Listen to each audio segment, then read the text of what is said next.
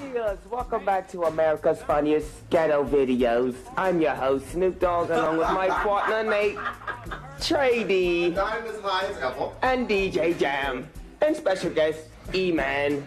And that episode was And Pops, and that episode was OJ on the road.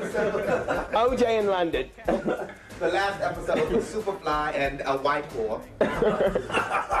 That episode was OJ in London, Really caught in the act. really caught. That's just funny. Yeah, that nigga was trying kissing on the road. Hey, we should have had the camera on that motherfucker in the club. DJ Jam, tell people what you saw uh, um, Superfly doing in the club? Nigga belt in the uh, VIP lounge.